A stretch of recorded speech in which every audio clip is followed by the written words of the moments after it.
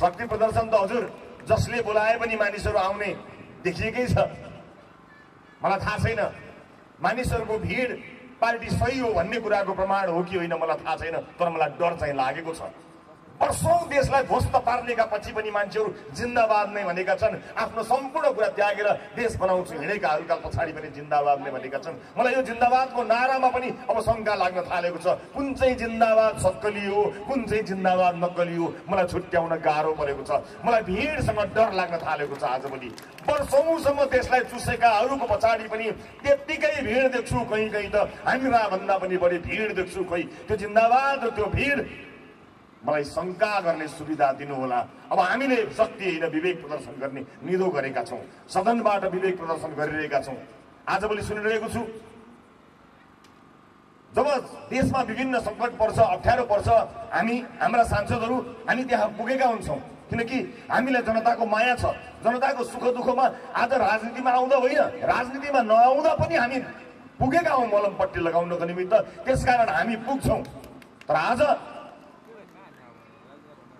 देशमा दुर्गम भूभागमा भूकम्पहरू जान्छन्। हामी सबैभन्दा पहिला पुग्छौँ।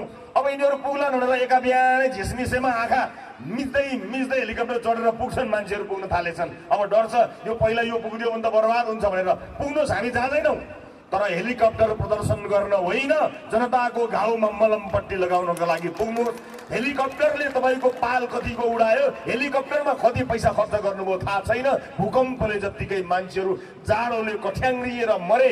हामीसँग प्रतिस्पर्धा गर्नका लागि त्यहाँ देखाउनका लागि नजानुहोस्। काम गर्नका लागि जानुहोस्। हामी घरै बस्न पनि सक्छौँ। त्यति गरिदिनुहोस्। अहिले भूकम्पका कारण चिसोका कारण मानिसहरूको मृत्यु भएको छ। संसार ठुलो ठुलो हेरेर बसिरहेको छ। थाहा छैन कम्युनिस्ट भनाउँदा नेताहरू कम्युनिस्टको कुन सिद्धान्तभित्र पर्दछ कुन्ने उहाँहरूको पार्टी उहाँहरूको विवाह उहाँहरूको भोज हेऱ्यो भने हाँसो उठ्छ आश्चर्यचकित लाग्छ। सम्पत्ति कहाँबाट आयो भनेर हामीले सोध्न मिल्दैन। सोधियो भने त फेरि साइबर सेनाहरू लागेर हाम्रा खोजी नीति गर्न सुरु गर्छन् यिनीहरू पनि उस्तै हुन् भन्न सुरु गर्छन्। थाहा छैन कहाँबाट आएको छ। लाखौँको धरोटी बुझाउने पैसा पनि कहाँबाट आयो त्यो स्रोत कहाँ हो हामीलाई थाहा छैन। शरीरभरि महँगा महँगा घडी छन् लुगा छन्। पार्टी भोज घर हेलिकप्टरको सवारी प्लेनको सवारी महलको बास। कहाँबाट आएको थाहा छैन। तर जनता भने आफ्नो घाँसका लागि आफूलाई पाल्नका लागि आफ्नो परिवार प्राप्त गर्नका लागि आफ्नो एउटा सामान्य जीवन दिनका लागि देश छोड्ने लहरमा लागि परेका छन्। तर भिड उत्तिकै छ। जता पनि उत्तिकै छ। कहाँको भिड कहाँको टाउको बनेर र कहाँको जिन्दाबाद मानेर अगाडि बढ्ने एउटा बडो अन्यलको विषय बनेको छ। तर उपस्थित आमा बुवा दाजुभाइ दिदीबहिनीहरू हामीले जानेको राजनीति तपाईँले देख्दै सुन्दै आएको राजनीति जस्तो नहुन पनि सक्छ। हामी राजनीतिमा योग्य मान्छेहरू लिएर जान चाहन्छौँ। योग्य मानिसहरूका बलमा मुलुक परिवर्तन हुन सक्छ। संसारका विकसित देशहरूले गरेकै त्यही छन्। त्यसका लागि हामी तयार छौँ। हामीसँग ठेकेदारहरूको लिस्ट छैन। हामीसँग कार्यकर्ताहरूको लिस्ट छैन। हामीसँग भातृ सङ्गठन हाँकेका वर्षौँ त्याग गरेका जेलनेल खाएका मान्छेहरूको केही पनि चिज छैन। बेच्नका लागि हामीसँग मदन बिपी कोही पनि छैनन्। हामीसँग सुशासनको एउटा एजेन्डा छ। हृदय छ केही गरेर देखाउने र क्षमतावान योग्य मानिसहरू हाम्रो टिममा छन्। बस यति नै छ हामीसँग र यतिका आधारमा हामी अगाडि बढेका हौँ। राजनीति कस्तो हुनुपर्छ? कसरी गरिनुपर्छ? मलाई थाहा छैन। तर विश्वविद्यालयमा राजनीति गरेर ताला बन्द गरेर देशको भविष्य बन्दैन त्यहाँको ताला खोल्नुपर्ने हुन्छ।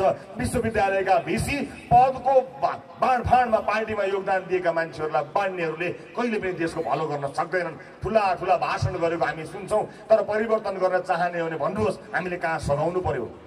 आज देशका कयौँ सङ्घ संस्थाहरू डुबेका छन्। तिनको हालत टाट पल्टिने हालत पुगेको छ। त्यो सब भागभण्डामा देशको पदहरू बाँडेका कारणले हो। एकपटक यो लुटलाई बन्द गर्ने अवसर हामीलाई प्राप्त गरौँ दिनुहोस् तपाईँहरूले मात्र एकपटक।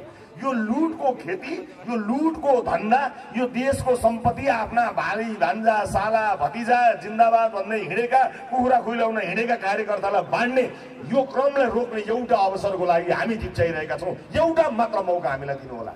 उपस्थित दाजुभाइ दिदीबहिनीहरू। न हामीलाई पार्टीमा लागेका भनेका मानिसहरूलाई योग्यता नभएको भरमा पद बाँड्नु छ। न विश्वविद्यालयमा आफ्नो पार्टीका या आफ्ना आफन्तहरूलाई लिएर जानु छ। हामी यो देशमा बाँकी रहेका योग्य सक्षम मान्छेहरूलाई देशका महत्त्वपूर्ण पदहरू जिम्मा लगाउन चाहन्छौँ। ती मान्छेहरूको बलमा देशको सुनौलो भविष्य कोर्न चाहन्छौँ। देश रित्तिनुभन्दा अगाडि प्रत्येक दिन सयौँ हजारौँको सङ्ख्यामा मानिसहरू दिएका छन् केवल परिवार पाल्न। नेपालीहरू श्रम गर्न जाने दुईवटा मुलुक र नेपालीहरू शिक्षा हासिल गर्न जाने समृद्ध एउटा मुलुक तिनवटा मुलुकको भ्रमण सर्केर भर्खरै आएको हिजो राति मात्र स्वदेश आएको हो। त्यहाँ भएका नेपालीहरूले भनेका छन् यो देशमा हाम्रो देशमा परिवर्तन तपाईँहरूबाट सम्भव छ। तपाईँहरू योग्य मानिसहरू लिएर जानुहोस्। हामी तयार छौँ। भोट हाल्ने हाम्रो अधिकारको लागि लड्नु होला भनेका छन्। मैले उहाँहरूलाई भनेको छु। हामीले एक वर्ष अगाडि जब सरकारमा जाने निर्णय गरेका थियौँ सरकारमा जाने निर्णय गर्नुभन्दा पहिला हामीले विभिन्न मागहरू राखेर सरकारमा गएका थियौँ। न्यूनतम साझा कार्यक्रम बनाएका थियौँ जसमा कुनै पनि कालखण्डमा भएको भ्रष्टाचारको छानबिन सुरु गर्ने विषय थियो। हेल्थ एन्ड एजुकेसन बिल शिक्षा र स्वास्थ्यमा हामीले एउटा नयाँ किसिमले विधेयक ल्याउने कुरालाई लिपिबद्ध गरेका थियौँ। विदेशमा रहेका नेपाली नागरिकको मताधिकार सुनिश्चित उहाँहरूले पनि भोट हाल्न पाउने अधिकारको सुनिश्चितताको कुराकानी गरेका थियौँ। सम्मानित अदालतले विदेशमा भएका नेपालीलाई भोट हाल्न दिनु भनेर भनेको आउने चौरासी सालमा त्यो आदेश दिएको दस वर्ष पुग्छ। आशा छ सरकारले यसका लागि आवश्यक कानुन सदनमा लिएर आउनेछ। तर भरोसा यी दल र यी पार्टीहरूका नेताहरूको मलाई पटक्कै पनि छैन। यिनीहरूले त्यो अधिकारको सुनिश्चितताका लागि ल्याउँछन् कानुन भन्ने कुरामा मलाई ठुलो शङ्का छ। त्यसैले विदेशमा भएका नागरिकहरूलाई मैले भन्दै आएको छु। कम्तीमा पनि चौरासीमा नेपाल जानका लागि छुट्टी भर्दै गर्नु होला है। उस्तै परे तपाईँ भोट हाल्न देश आउनुपर्ने हुन्छ। मैले भनेको छु। सबै देशहरूमा भनेर आएको छु।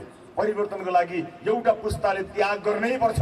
हामी त्यही पुस्ता हौ। हामी त्याग गर्नका लागि तयार भएर बसेका हौँ। हामीले आफन्तलाई बोकेर हिँडेका छैनौँ। आफ्ना नातागोता बोकेर हिँडेका छैनौँ। आफ्ना मान्छेलाई योग्य भए पनि नभए पनि पद दिलाइदिन्छु भनेर हामी हिँडेका छैनौँ। देशका महत्त्वपूर्ण पदहरू महत्त्वपूर्ण र क्षमतावान मान्छेहरूको हातमा परोस् भनेर हामी यो यात्रामा हिँडेका छौँ।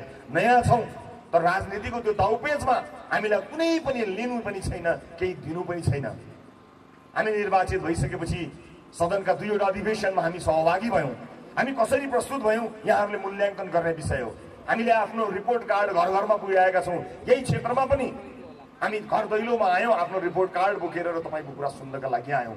चुनावका बेलामा अनुहार देखाउन आउने प्रवृत्तिको हामी विरोधी हौँ। हामी अन्य बेलामा पनि यसै गरी खुल्ला रूपमा तपाईँहरूसँग कुराकानी गर्न चाहन्छौँ घर दैलोमा आउन चाहन्छौँ। जनताका मुद्दालाई जनताका कुरालाई हामी आफ्नो महत्त्वपूर्ण कुरा मानेर अगाडि सार्न आएका छौँ। त्यसैले हामीलाई भ्रष्टाचारी जोगाउनु छैन जेलमा परेका हाम्रा नेता जोगाउनु छैन कोही गलत प्रवृत्ति भएका मान्छे भए बहत्तर घन्टाभन्दा धेरै हामी समय लगाउँदैनौँ। कारवाही गर्नका लागि योग्य मान्छे बोकेर हिँडेका छौँ क्षमतावान शिक्षित देश विदेशबाट मानिएका चुनिएका मानिसहरू बोकेर हिँडेका छौँ। अब वडादेखि केन्द्रसम्म होनहार मान्छेहरूलाई उम्मेद्वार बनाएर तपाईँहरूको मत जितेर मुलुकको परिवर्तनको एउटा सपना बोकेर हामी हिँडेका छौँ। त्योभन्दा बढ्ता हामीलाई भन्नु केही पनि छैन। र आउने निर्वाचनसम्ममा हामीले गर्ने सभा हाम्रो यो भेटघाट हाम्रा यी कार्यक्रमहरू तपाईँलाई गर्ने ढकढक हुन्। तपाईँहरूको ढोकामा ढकढकाइएको हो। हामी तपाईँलाई ढकढक गर्न आउनेछौँ। आउन त उनीहरू पनि आउनेछन्। अझ बढी नै आउनेछन्। राज्य कोषको दुरुपयोग गरेर आउनेछन्। राज्य कोषलाई उडाएर आउनेछन्। हामीसँग त्यस्तो केही पनि हुने छैन। हामीसँग हुनेछन् तर योग्य क्षमतावान उम्मेद्वार जसलाई प्राइमेरीका माध्यमबाट प्रारम्भिक निर्वाचनबाट छानिनेछ। हामी कसैलाई टिका लगाएर उम्मेदवार बनाउने कुराको विरोधी हौँ। हामी त्यस्ता मान्छे बोकेर आउने छैनौँ। नोटको बिटो बोकेर चुनावमा तपाईँको भोट किन्न आउने मान्छे राजसभामा हुने छैनन्। म तपाईँलाई स्पष्ट पार्न चाहन्छु। सम्भव छैन हामीबाट। हामी चुनाव एक जुनी हार्न तयार छौँ। जिन्दगीभरि चुनाव नजित्ने हो भने पनि हामी तयार छौँ। तर नोटका बिटा बोकेर रक्सीका बोतल बोकेर र कुखुराका साथमा बोकेर चुनाव लड्ने कुराको हामी विरोधी छौँ। हामीसँग योग्य मानिस हुनेछन् इमान्दार मानिस हुनेछन् क्षमतावान मान्छेहरू हुनेछन्। वडादेखि केन्द्रसम्म यो देशलाई चाहिने मान्छे हामी जम्मा गर्नेछौँ र हामीसँग चुनाव लड्नका लागि खर्चको व्यवस्था हुने छैन। त्यो योग्य उम्मेद्वार साँच्चै नै तपाईँले भोट हाल्ने उम्मेद्वार हो भने उसका लागि आवश्यक जो हो तपाईँले नै गर्नुपर्नेछ। मैले यो कुरालाई स्पष्टसँग पहिला पनि राखेको हुँ अहिले पनि राखेको हुँ। यो चुनावी सभा होइन। यहाँ चुनाव र भोटको कुरा गर्नु पर्दैन। तर मलाई के थाहा छ भने चुनावको केही दिन अगाडि हामीलाई एउटा बिर्सने रोगले सताउँछ। बस नौ नम्बर क्षेत्रलाई त्यो रोगले नसताओस् योग्य मान्छे छान्न सकोस् क्षमता मान्छेलाई छान्न सकोस्। त्यति मात्र चाहन्छु। हामी निश्चित अवधिका लागि चुनावमा छौँ। सर्गीय निश्चित अवधिका लागि राजनीतिमा छौँ। दुई कार्यकालभन्दा तेस्रो कार्यकाल एउटै पदमा राजनीति गर्न पाइन्न। रियाल सिंगान चुइन्जेल राजनीति गर्ने हाम्रो विचार छैन। दुई कार्यकालमा मुलुकलाई ट्र्याकमा ल्याएर ल्याउन सक्छौँ। क्षमतावान योग्य मान्छेहरूलाई ल्याउन सक्छौँ। र आम जनताले आफ्नो धर्म निर्वाह गरे आफ्नो कुरा पुरा गर्न सक्यो भने यो देश परिवर्तन हुन सक्छ। हामीलाई विश्वास छ। मलाई थाहा थियो सुशासनको एउटी अभियानमा हामी हल्ला गर्न थाल्यौँ हामीले कराउन थाल्यौँ। भनेपछि सुशासनमा केही न केही सरकारले गर्यो होला। अब त। अलिकति राजनीति सफा हुन्छ होला। धेरै मान्छे जेल जान्छन् भन्ने सोचेको थिएँ। विदेशबाट फर्केर आउँदा समाज होइन जेल चाहिँ सफा हुन थालेछ। जेलबाट चाहिँ मान्छेहरू निस्किने क्रम सुरु भएको रहेछ। खैर मेरो शुभकामना छ।